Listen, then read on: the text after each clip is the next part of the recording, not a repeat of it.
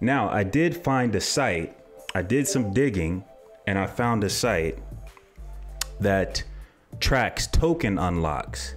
And I never found this site before, right? I didn't know this site existed. All right. I have a few sites that I use to track token unlocks, but this site was tracking or is tracking a token unlock that occurred for Neon about two days ago. Yeah, yeah, about two days ago. You can see here two day minus two days left. That means it happened two days ago. And it says 243 million neon from the treasury for, or for ecosystem growth and the treasury. All right, so I will put the link to this in the description so you could go here and do your own DD.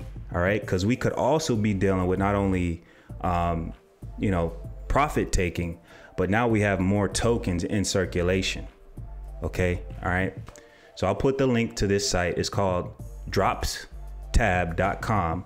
All right, and you guys can track Neon's token unlocks here. All right, and I wish I found this site about three weeks ago. All right, yeah, totally. I would have took more profits at the top. All right, but it's fine. I'm, I'm I know where Neon is going. All right, I did hear that there was uh, some network issue that they're working out. All right.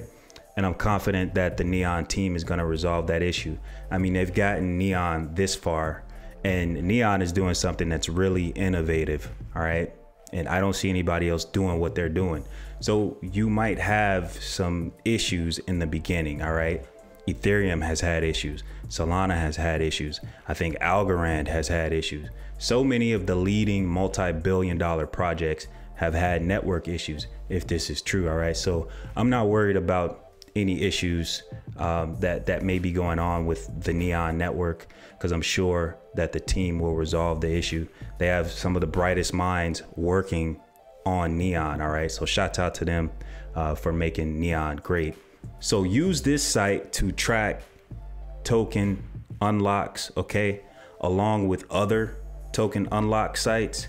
I recommend that you use multiple because in crypto, it seems like some of these sites don't always have all the information. All right, so it's good to have uh, different sources to pull information in, especially when you're investing in new projects that have vesting schedules. All right, one site may not be the end all be all as you know as your your best source it's good to have multiple based on this site all right yeah it says unlocked 293.10 million neon okay all right guys so you guys check this out when you get a chance like i said i do think that the 150 zone is a good buy zone and it should hold that support until further notice. Now, yesterday I mentioned that Neon could come as low as around 140, which is where the bottom of this Bollinger Band is. Let me delete my alert here. And that's exactly what Neon did, right? So he came all the way down to around 142, okay? Came down to 142, now he's getting bought back up, all right? Now, I mentioned that we should get a bounce here soon, and it looks like we're getting a bounce, all right? Now I can see 212 as an area where Neon might get rejected, okay? Now, this is totally possible, all right? It's totally possible. But all in all, this looks like normal healthy price action. Aside from another variable, I'm gonna show you that here shortly, all right? Now, Neon, uh, we got into Neon at around 7.6 cents. That's when I gave the signal to my patrons I was getting into this.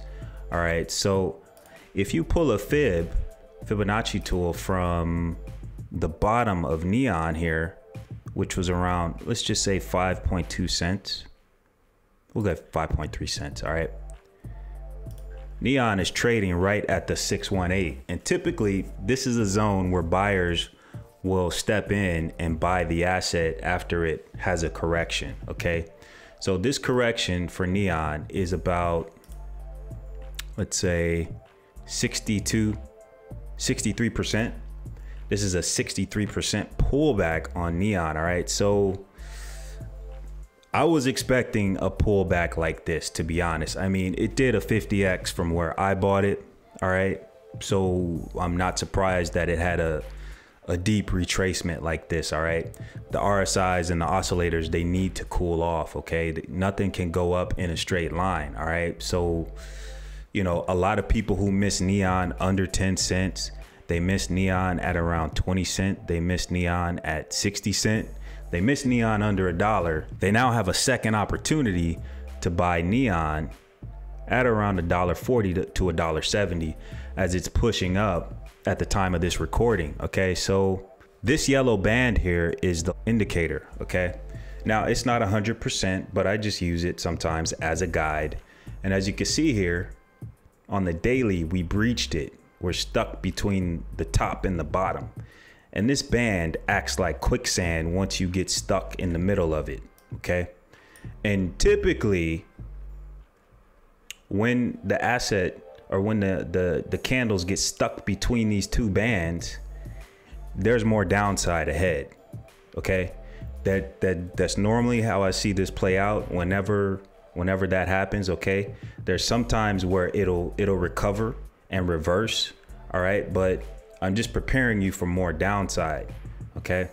Because I think it's possible. It's not guaranteed, but it's possible. Anybody who shows you charts and tries to guarantee you something's gonna happen, it's just a probability at the end of the day, okay? It's not guaranteed. So I can't say that it's a 100% safe to buy at the 618 level on this Fibonacci zone, right? But what I can say is that it is a good risk to reward traditionally to buy in this zone. Okay. Now we are still extremely oversold on the daily. Okay. I mean, we're we're just flatlined here. It, it just looks like this crypto is dead and it's gonna bleed off forever. I don't think that's the case. Neon is still doing very well as a project, all right, and as a company. Okay, so so what we could see is a bounce from here from this 140 up to around 198, meet rejection and roll back over. That's totally possible. But I wouldn't expect to just blast off and go straight up from here. Though it's crypto and it's totally possible, all right? All right, so if you take a look at the two day, you can see we just breached this yellow band. So this is good. If we can avoid getting sucked into this yellow band between these the top and the bottom of this yellow band, that's good. Okay, but if we get stuck in between this on the two day, it's not gonna be good. Now I'm not the best chart person as far as like patterns and all this stuff. I don't really get into that. I deal with support and resistance and some patterns. Okay, so I'm used to how this yellow and blue band works. All right. When we're above it, we're bullish. When we get sucked into it, we're bearish. And when we fall below it, we're bearish. Okay. Now, if you take a look at, let's see, Bitcoin, just to give you an idea of how accurate this particular uh, indicator is, you can see that as soon as it flips yellow, we're bullish. So Bitcoin flipped bullish on 16 October 2023. Okay. So we've stayed above it ever since then. You could see here, once we got sucked in between these bands, we fell below the band. We kind of peaked out of it, but we fell below the band and then went back through it to the upside.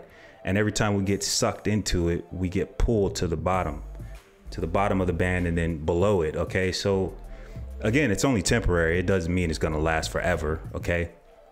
But it just indicates to me that there's more potential downside. Okay. So you could have something like what happened here, where we got Bitcoin got sucked into the band, the yellow band. He fell a little bit below it and then he blasted through it back up. But you see, then got pulled back into it. All right. But this is Bitcoin, a totally different asset. All right. But if you look at something like Mint Layer, you can see the difference in the price action. Mint Layer has stayed away and stayed above this yellow band since I first found it and did my first video. So I found Mint Layer under three cents. And since then, that band flipped yellow and it has not touched it in the past few months. All right.